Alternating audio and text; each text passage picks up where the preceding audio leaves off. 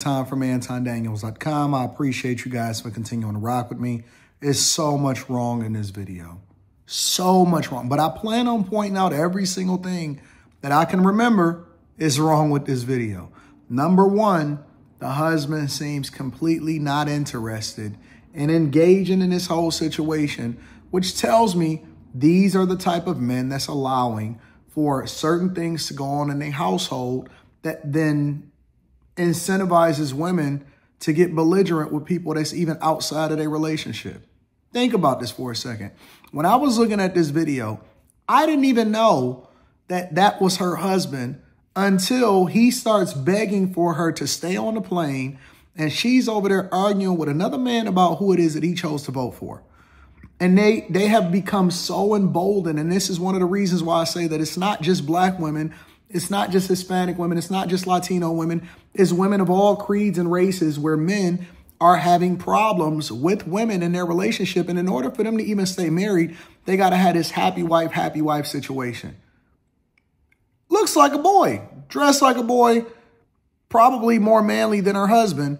But then at the same time, now she wants to beg and she wants to start having a conversation with uh, the airline about her staying on the plane when she's literally um, belligerent with this person that's next to her about the fact that he said that he's going to celebrate. Thank God that we have reasonable people on the right that is not going to sit here and go back and forth with you. Don't even feel compelled to uh, get into a major argument with you, even when they disrespect it. But instead, they call the authorities or they call whoever's in charge in order to get you removed. And so that's what people going to have to start doing. Instead of keep engaging with these people and playing it the way that you would usually play and crashing out, go ahead and meet their expectations and make sure that they get removed. I don't care if you're going for your husband's funeral. You should have sought uh, compassion when you started getting belligerent and you start going back and forth with a person that had no interest in your personal situation. If you would have minded your business and focused on what you had going on instead of getting overly emotional, upset with a person that you don't even know, that you probably never gonna see again once y'all get off that plane. And see, this is why I like to have first class because you don't have to deal with that. People mind their business. They focused on either taking care of their business while they're in the air and getting that good Wi-Fi, or they focus on relaxing and sleeping and they don't care about your personal situation. I've never gotten into a situation where I got into it with somebody on a plane, A, but B, I don't even ride in the same spaces to where people feel compelled to even go back and forth with me about their choices because I don't care.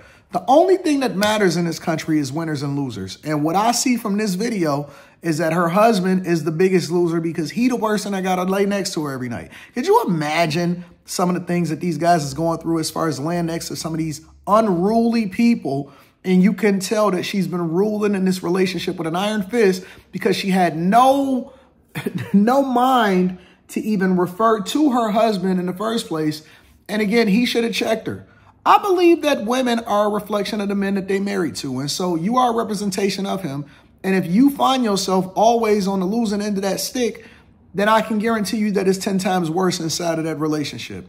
But more importantly, are y'all that emotional about the fact that Kamala Harris, who a person that y'all was saying was the worst vice president of all time just a few months ago, lost? Did y'all get marketed to so well to where you really are crashing out and getting removed from the plane? To where the captain, even the captain said, listen, get her up out of there. Book her, Danno. Get out of there. And and again, the husband is looking completely disinterested the entire video. She's going off on somebody that she shouldn't even have been you know, going talking to in the first place. You should have been minding your business and focusing on what you got going on. But these people are in crash out season. That's what this is. From now up until January 20th is crash out season. And then after January 20th, it's going to be a hangover because because people are going to be feeling so, so extra.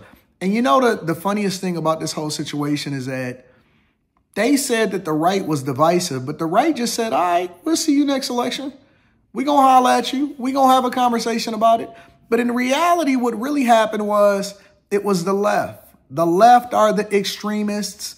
And if you don't vote, because we all get one vote inside of this country, if you don't vote and get bullied, which I guarantee you, I'd be willing to bet my left nut that this man has gotten bullied into voting whatever the way that they voting, if you not getting bullied into doing what they want you to do, then all of a sudden they hate you. They want to catch flights.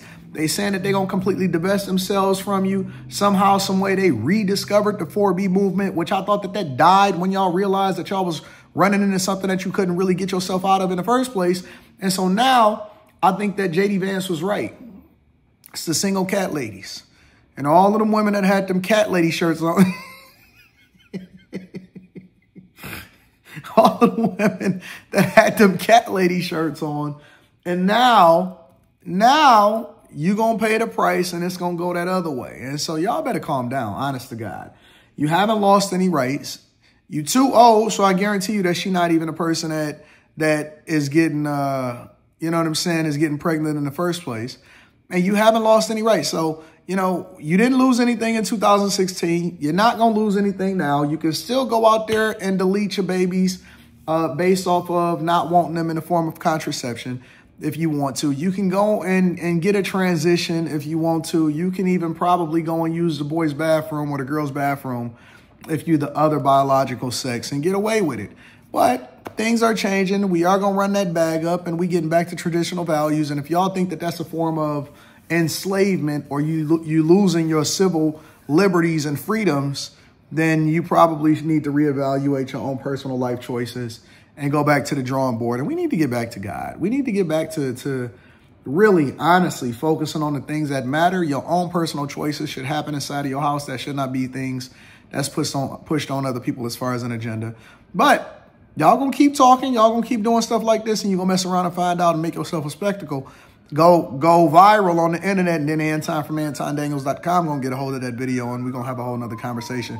So listen, I love y'all. I appreciate y'all. Make sure y'all tap into the Patreon. Link is in the description. We got Stock Club tomorrow. Also, Tiege Hanley 40% off your first order plus 20% off of life. And then last but not least, get your tickets. Come and kick it with me December 14th in Detroit. It's going to be an awesome show. I love you. I appreciate you. I'm going to holler at you later. Peace.